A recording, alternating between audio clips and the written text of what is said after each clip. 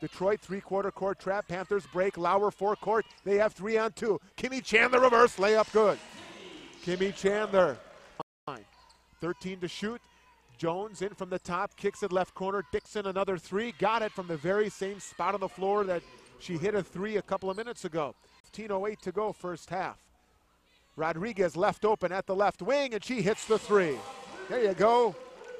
For the rebound, it comes to Jones, who quickly outlets it to Dixon with a touch pass. Here's Lauren Allen going up and laying it in.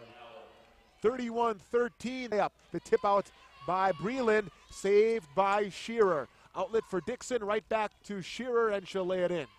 That time the two on one worked. Sinane force tsunami that has swallowed up Panther basketball. Left of the lane, hitting. It's Lauren Allen. Panthers have given up 48 points a team than a first half team this year. Lauer catches in the lane, posting up Dixon, puts it up, puts it in, counted and a foul. Lindsay Lauer up to eight. Detroit works basket to our left here in the second half. Shayok again, posting up Lauer, hooks it up off glass and good.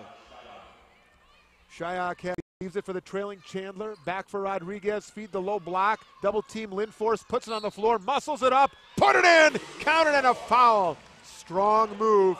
Courtney Lindfors. Rod one on four. Skips it over to Tucker in the forecourt for the trailing Chandler. Kimmy pops a three and hits it. Kimmy Chandler with five. Trying to play. Jones feed low Murphy. Skips it left corner for the rising Dixon three, which is good. How do you lose Dominique Dixon? I, I don't know.